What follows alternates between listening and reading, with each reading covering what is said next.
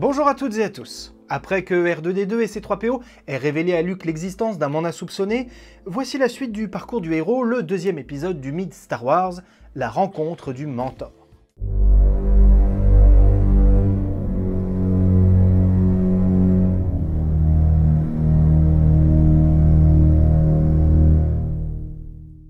Dans les mythes, le héros se rend bien vite compte qu'il ne peut pas faire sa quête tout seul.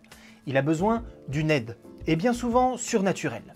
Cette aide peut prendre de nombreuses formes. Une créature, un magicien, un ermite ou un artisan qui lui permet d'obtenir une amulette dont le héros peut avoir besoin.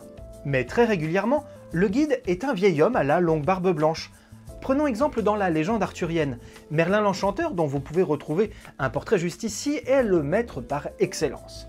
D'une part, il participe à la création d'Arthur, il supervise son éducation, etc. Mais en plus, il l'aide à monter sur le trône et il lui apporte de nombreux conseils dès les premiers jours de règne. Il aide donc Arthur à devenir grand jusqu'à ce qu'il puisse se débrouiller tout seul dans sa quête.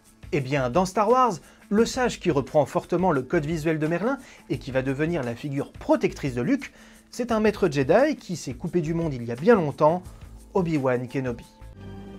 Bonjour toi. Après avoir sauvé Luke d'une mort certaine, l'histoire qu'il raconte au jeune homme au sujet de son père est radicalement différente de celle qu'il a toujours entendue de la bouche de son oncle et de sa tante. Non, mon père n'a pas servi dans cette guerre, il était navigateur sur un transport spatial. Ça, c'est ce que ton oncle t'a raconté. Luke apprend que son père n'était pas un quelconque navigateur à bord d'un transport spatial, mais qu'il était un chevalier Jedi. Du coup, Luke, qui s'ennuie sur cette planète, a maintenant un objectif, un but pour son voyage, devenir comme son père un Jedi même s'il ne connaît pas les conséquences d'une telle volonté. Pour que Luke puisse accomplir sa quête, Obi-Wan va également lui fournir un artefact qui l'aidera tout au long de son voyage. Une amulette qui prend la forme d'un sabre laser, et pas n'importe lequel, celui de son père. Dans les contes et les mythes, l'épée magique est un symbole de légitimité, encore plus quand l'arme en question se transmet de génération en génération. Encore une fois, dans le mythe arthurien, le règne dépend d'Excalibur. Le héros d'un célèbre poème allemand, Siegfried, reforge l'épée de son père pour tuer le dragon Fafnir. Et c'est cet acte qui va le lier à l'héritage héroïque de son père. L'épée magique est un talisman chargé de symbolisme. C'est un peu différent d'une amulette, car cette dernière fonctionne toute seule pour protéger le héros. Il n'a pas besoin de faire quelque chose pour l'activer. Contrairement à l'épée, une arme, car s'il doit s'en servir, il doit apprendre à la manier et à faire un choix. De quel côté va-t-il être? Soit il sert le bien, et l'épée devient un symbole de justice, soit il sert le mal, et l'épée devient un symbole de destruction. Dans Star Wars, cette distinction se fait visuellement à l'aide de couleurs. Pour les Jedi, la lame est soit bleue, soit verte, soit violette, et pour les chevaliers du côté obscur, elle est rouge. Mais donner un sabre laser n'est pas la seule chose qu'Obi-Wan va apporter à Luke. Il va également initier le jeune homme à la force. C'est une sorte de fluide créé par tout être vivant, une énergie qui nous entoure et nous pénètre, et qui maintient la galaxie en un tout unique. Il va également le mettre en garde contre le côté obscur, la voie des Sith, car la Force va dès à présent résider au centre de tout son combat, de toute sa quête.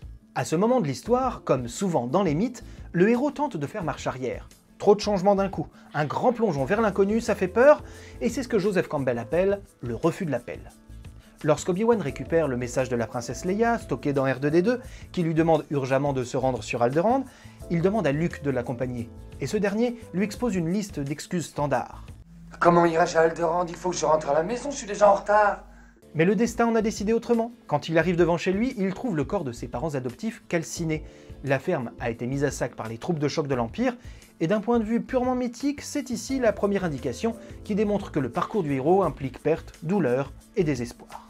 Du coup, plus rien ne le relie à Tatooine. Il va donc suivre Obi-Wan pour aider la princesse et sauver la rébellion. Je vais vous accompagner à Alderaan. Ici, il n'y a plus rien qui me retienne.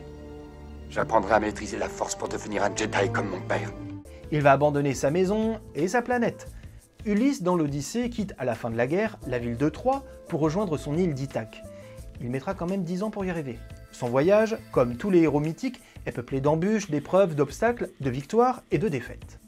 Luke doit se rendre sur Alderaan pour donner à la rébellion les plans de l'étoile noire et libérer la galaxie du joug de l'Empire. Il mettra lui aussi quelques années à y parvenir. Mais pour pouvoir quitter la planète, il va devoir se trouver un vaisseau et un équipage. Direction Moses Lee, un spatioport dans lequel Luke va devoir franchir une nouvelle épreuve avant de faire connaissance avec ses futurs partenaires. Et c'est ici que l'épisode s'achève. J'espère qu'il vous a plu. Si oui, merci d'avance pour le pouce bleu, le partage, et je vous dis à très bientôt sur Rendez-vous Compte.